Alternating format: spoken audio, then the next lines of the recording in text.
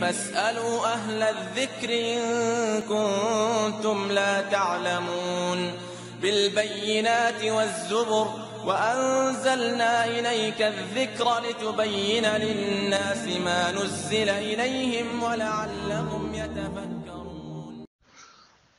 وعليكم السلام ورحمة الله وبركاته. إن الحمد لله وحده والصلاة والسلام على من لا نبي بعد وعلى آله وصحبه أجمعين ومن اتبعهم بإحسان إلى يوم الدين. أما بعد UK থেকে এক ভাই প্রশ্ন করেছেন তিনি বলছেন যে কোনো বিধর্মী লোক যদি টাকা দেয় সেটা হিন্দু হোক বৌদ্ধ হোক খ্রিস্টান হোক বা অন্যান্য ধর্মের লোকই হোক মুসলিম ছাড়া যদি কেউ টাকা দেয় এই টাকা দিয়ে কোনো ইসলামিক কোনো প্রতিষ্ঠানে বা দাওয়াতি কাজে লাগানো যাবে কি না?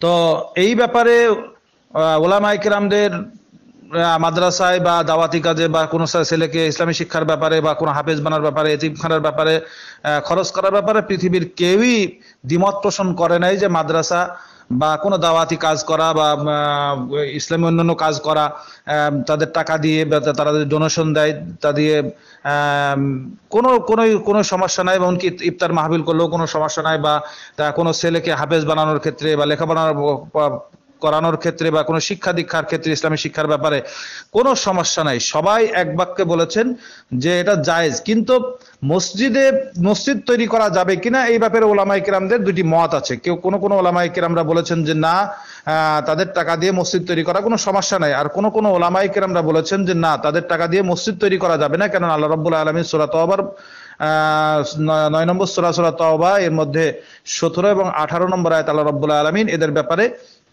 এদের মসজিদ তৈরি করার ব্যাপারে একটা হুঁশিয়ারি বাড়ি উচ্চ- উচ্চারণ করেছেন যে এই জন্য এদের টাকা দিয়ে মসজিদ তৈরি করা যাবে না। এটার ব্যাপারেও আমি ক্লিয়ার বলছি না, কেননা মসজিদ তৈরি করা যাবে কি না এই ব্যাপারে ওলামা আমাদের দুটি মত আছে। কেউ বলেছেন যাবে, কেউ বলেছেন যাবে না। কিন্তু অন্য অন্য ব্যাপারে কোনো মত নাই ইনশাল্লাহ আপনি ওই হিন্দু, বৌদ্ধ বা খ্রিস্টান বিধর্মীদের যে টাকা আছে, এই টাকা দিয়ে আপনি ইসলামী ইসলামী দাওয়াতের কাজ করে যেতে পারেন এবং কি মাদ্রাসা নির্মাণ, মাদ্রাসার কাজ বা ছেলে লেখাপড়া করার ব্যাপারে আপনি কাজ চালিয়ে যেতে পারেন। ইনশাল্লাহ এটা আপনার জন্য বৈধ হবে। আল্লাহ আপনাকে যা যা খয়ের দান করুক। আশা করি আপনার উত্তর পেয়েছেন। আসসালামু আলাইকুম রহমতুল্লাহ বারকাত এমনকি